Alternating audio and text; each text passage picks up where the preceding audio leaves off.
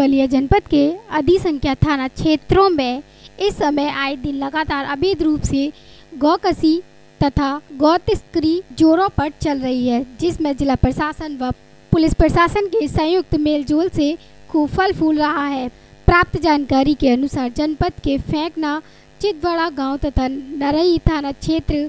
मलाईदार थाना माना जाता है, जिसके संयुक्त मेलजोल के साथ ही जिला प्रशासन तथा पुलिस प्रशासन की मिली भगत से, रात हो या फिर दिन, लगातार खटारा वाहनों व नाव के सहारे, गंगा के इस पार से उस पार, यूपी से बिहार अवैध रूप से गौकसी तथा गौ तस्करी के लिए बिहार पहुँचाए जा रहे हैं, जिसका नज़ारा वीडियो के माध्यम से देख सकते हैं। सूत्रों का कहना है कि इतना ज़्यादा तो सपा सरकार में भी गौकसी तथा गो स्त्री नहीं किया जाता था, जो बिल्कुल खुलेआम किया जा रहा है, जिसकी चर्चा चहू और चट्टी और चौराहों पर चल रही है। बलिया से संजय राय की रिपोर्ट एस न्यूज़।